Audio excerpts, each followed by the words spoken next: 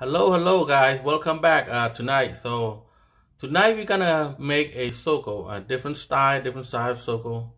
So let's dive into a Mill 9 and open that up and let's see how it goes.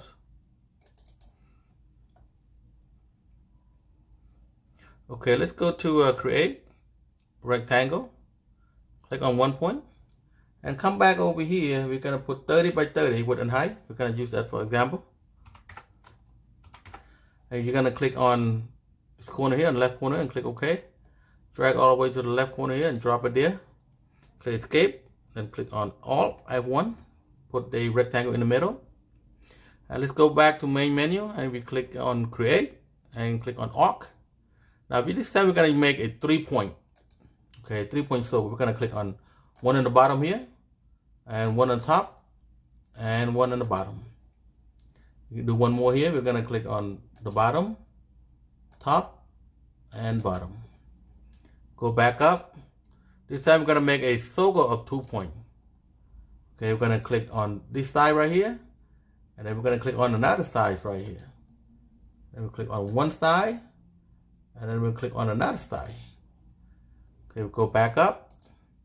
We're going to make a circle of three point. We're going to click on the bottom here. One in the middle and one on the bottom.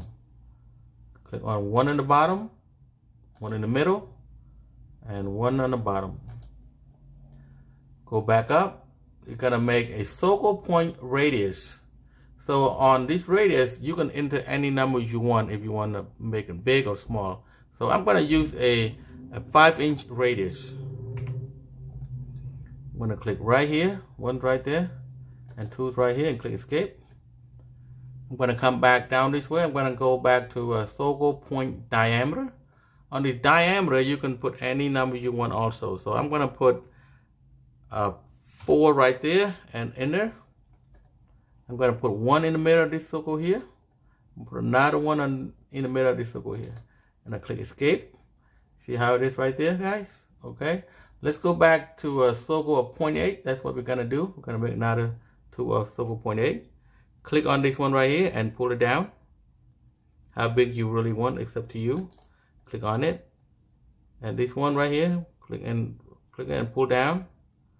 How big it is how big you want it to.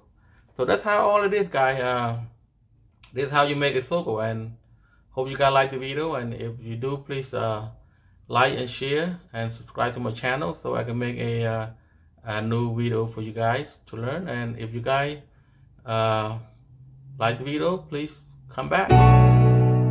Thank you guys and have a wonderful night.